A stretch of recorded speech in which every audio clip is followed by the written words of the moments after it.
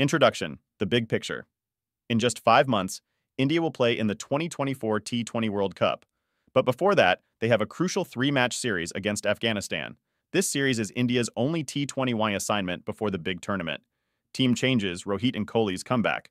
Rohit Sharma and Virat Kohli are back in the T20I squad after their last appearance in the 2022 T20 World Cup.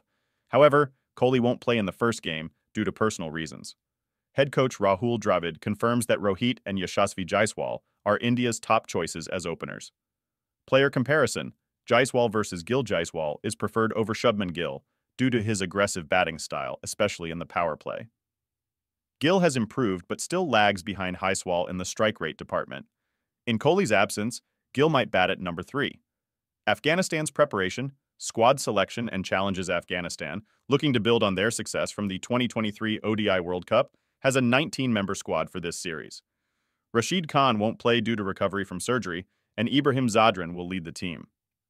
Despite some hiccups, key players like Farooqi, Naveen Haq, and Mujeeb ur Rahman are back in the national team.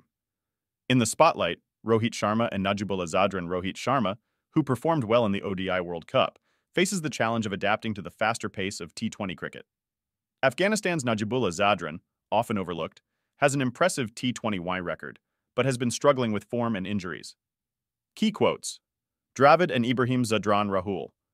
Dravid praises Rinku Singh's performance, but hints that the final selection for the T20 World Cup is still open. Ibrahim Zadran highlights Afghanistan's focus on improving their batting skills, despite having strong bowlers. Conclusion What to watch for keep an eye on how Rohit Sharma adjusts to T20 cricket, the battle between Jaiswal and Gill for the number 3 spot, and how Afghanistan deals with the absence of key players like Rashid Khan.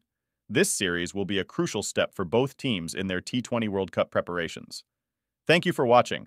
If you enjoy our content, consider subscribing to help us grow and continue creating quality videos for you.